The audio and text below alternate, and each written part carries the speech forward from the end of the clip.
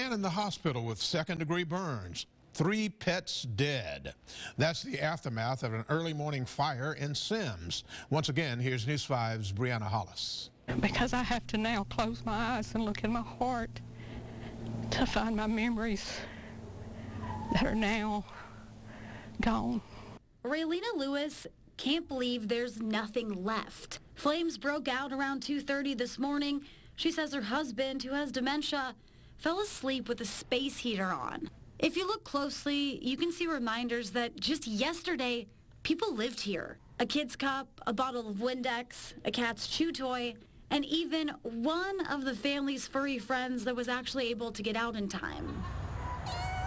And while the fire unfortunately killed two of their cats, this little guy here still made it, and it's one of the positives the family's focusing on. A house is a house, a home is what you make it, regardless where I lay my head.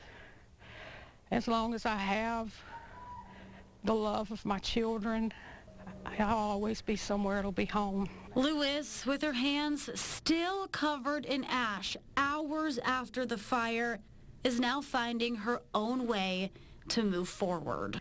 And we'll just have to make new memories and just relive the ones in our minds and in our hearts and move on and be thankful that God gave us another day. Mm.